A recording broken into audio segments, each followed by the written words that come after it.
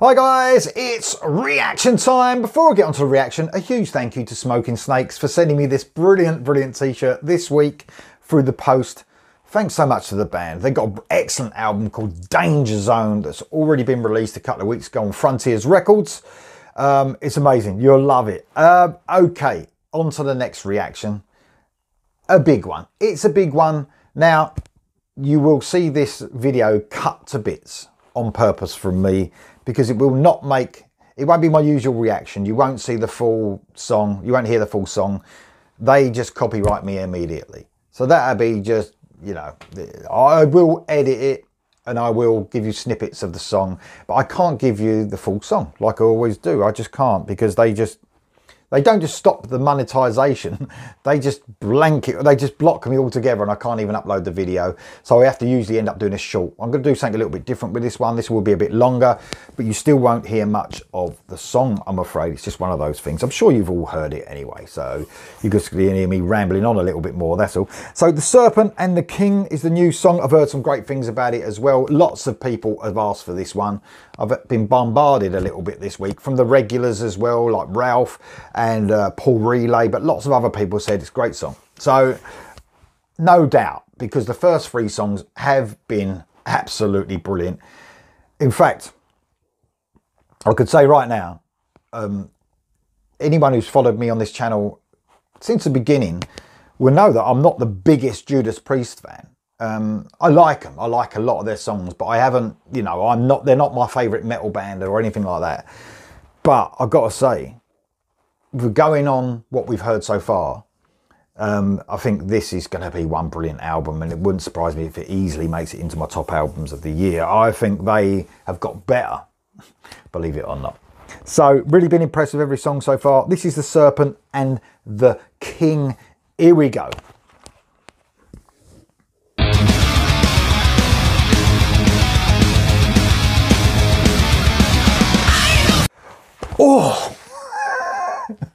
Well, I actually didn't need. Sometimes I write things down. I didn't. I don't actually need to write anything down with this because it is Judas Priest. That's what you could say about this. This is Judas Priest. It just sums them up brilliantly. Definitely got that painkiller vibe running through it. You know, the guitar, especially in the verses, that just that full metal assault painkiller vibe in the verses. But what I really love about this is I love the way it changed the pace slightly in that chorus and sort of went into this really groove laden, the guitars especially, doing this, picking this sort of bluesy sort of groove laden feel out. It, it doesn't sound bluesy overall, but when you actually listen to those guitars, they're really grind in a cool sort of rhythm out there. Um, Rob Halford. I mean, man, he's how can he sing like that? It's just ridiculous. um, out of all the singers, you know, and there are some about. I'm not going to have a go at older singers now, by the way, because there's some that have just kept their voice brilliantly and looked after themselves. Michael Sweet, our Stryper, being one of them. Rob Halford being another, Bruce Dickinson being another.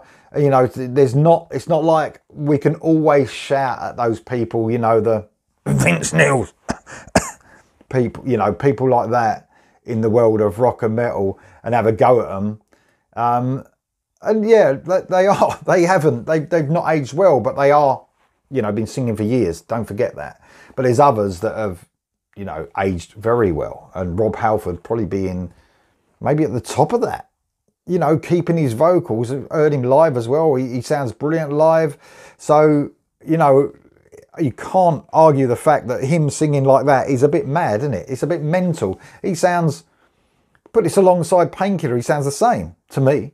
He does. He really does. So it's just a full metal assault Judas Priest, it's it is very I want to say paint by numbers Judas Priest. I suppose you could say that because it is you can't get away from that. There are people that try to emulate Priest and take influence from them. So many. And I think I think, you know, if you actually look at all the bands now, the metal bands around that are around, probably more than more than any other band, Judas Priest have influenced those those guys.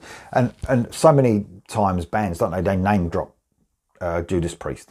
They, they always do. It's like, you know, all metal bands are like influence, whether it's thrash bands, whether it's like straight up new wave of British heavy metal type bands, you know, it's always like Priest, Priest, Priest. And they are the kings of it. There's there's there's bands that try to emulate them, but there's no one that sounds like them exactly because they can only do it how they can do it. Got to say that the production really, I think that's what's turned me on to Priest more in the last couple of years. Andy Sneap's production, I think it sounds great. Some people have a go about his production like it's a bit samey across all projects. I think it's got a bit of a more rawer feel on this Priest album, especially even more than Firepower. I think it's got a, a rougher sort of edge, which is good. It's not too polished, if you know what I mean. I think it's bringing out the best in the band for sure. I love it. it. It is absolutely fantastic. In fact, I've loved all four singles so far. I love the difference in Crown of Horns. I think that was great as well, in between all the heaviness of the other three tracks. But this, you couldn't get more Priest than this song. It's brilliant. Here we go for the rest.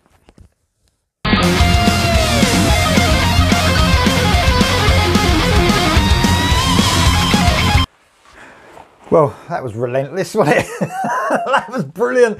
I was often expecting the solo. When the solo first kicked in, I thought, here we go.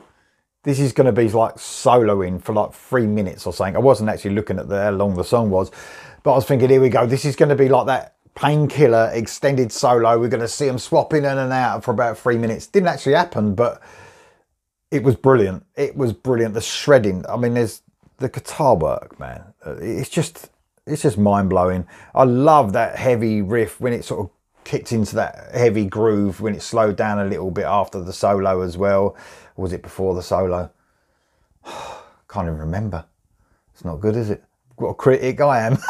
no, that was absolutely fantastic, man. That was brilliant. Um, I'm trying to, well, in fact, you guys do it because it's quite hard for me. Tell me how you rate the Judas Priest songs that have been released so far. I think it's four songs so far. Let me know in the comments below. So you go your number one, the best, down to number four, if it is four. Is it five? Is it four? Is it five? I think it's four. From number one to four or whatever it is, in the comments below, let me know what your favourites are, guys. And I'll see you soon.